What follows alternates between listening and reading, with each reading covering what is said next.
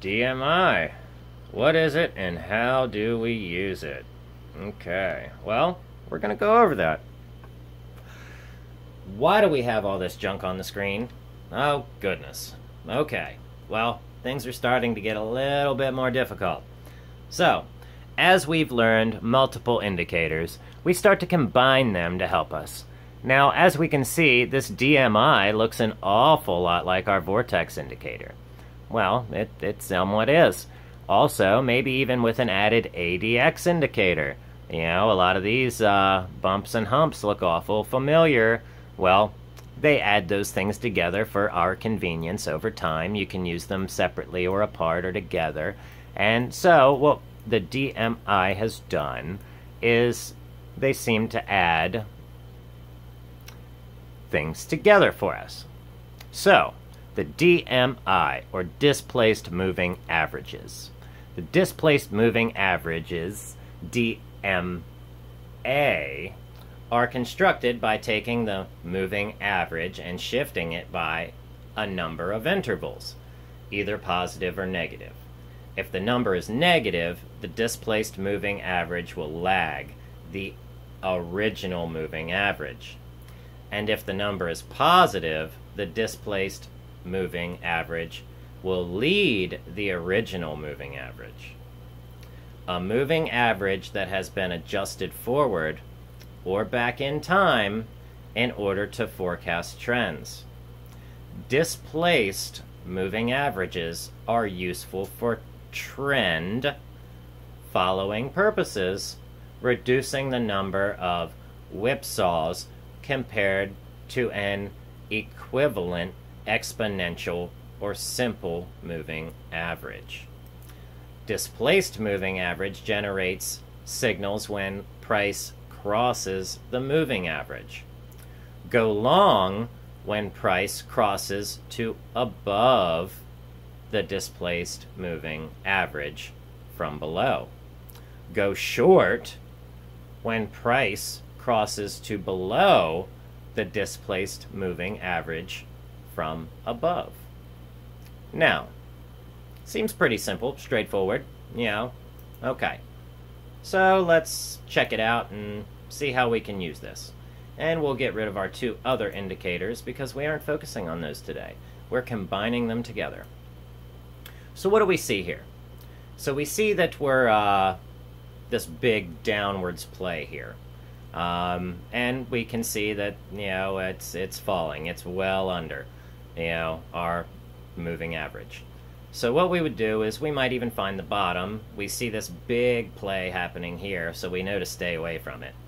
Um, and we see that it's, uh, you know, pink on the top, which we know is, you know, negative.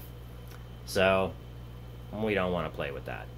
But as we see, our crossovers happen. Our crossovers happen, and we spot our reversals, and boom, right there. There's your confirmation. This candle that engulfs the doji and comes above the action. Now, you've already missed part of the move. You should have bought in right here where it says you should have bought in. But we can see that there's some volatility. We're green high. And we can ride it above 50% above the price action for our Bollinger Band movement. And we would sell out when we saw our confirmation here or here breaking below the line. Um, but considering that we were still green high, we might not have sold out. We might have rode it out and rode it out and rode it out. And look at that. Just a couple seconds later, we caught this big giant play upwards where we can see that this big green line shot up and this volatility just started to happen all at one time.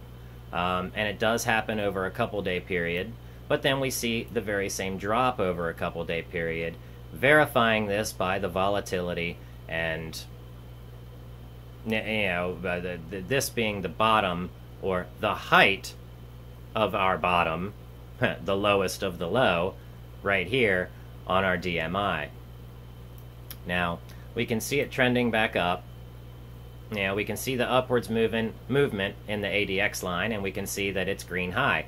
So, that's a good thing. um, we know that we could make another couple dollars here on this play. Um, but once we saw the reversal here, uh, we would get out and we would not bother getting in again, and I would probably even stay away from this move here too, um, being that it's represented here as a negative play. Uh, but if we go all the way to where we are current, the best thing to do being that, uh, well, what would we have done? How would we have played this? So we see our Bollinger Bands getting wider. That's a sign of an upwards move. Um, we see our ADX going, you know, wild here with volatility. Um, it, so that's a wonderful thing. Um, we can see some upwards and downwards plays, but right here we can see we're green up, so that's a good thing. You know, uh, you know, we might have even gotten in down there. Um, and we can ride this, ride this, ride this, uh, until, you know, and well, we're still green up, but coming to a squeeze.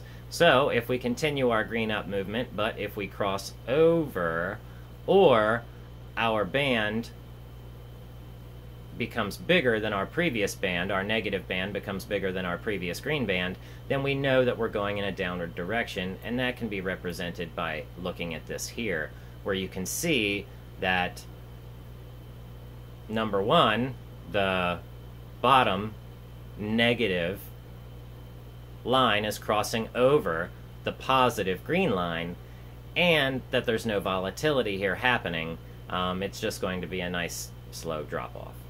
Um,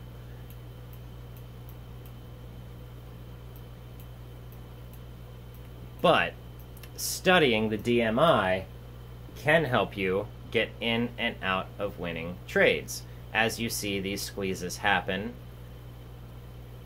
you can buy the lows and sell the highs. We're using TCDA for this example,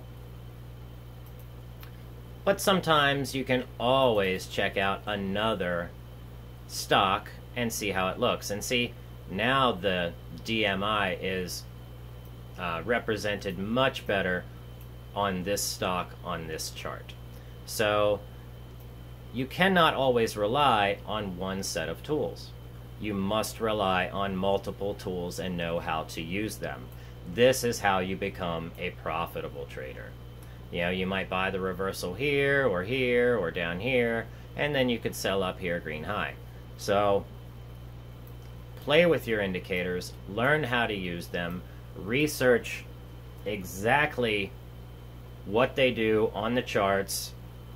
If you can't look at the indicator and tell yourself without a doubt what's going to happen, then you should not be putting any money into the market. Well, with that being said, uh, if I helped you learn anything new here today, subscribe, you know, share it, social media, all that jazz. You know, I'm here for you. Have a great one.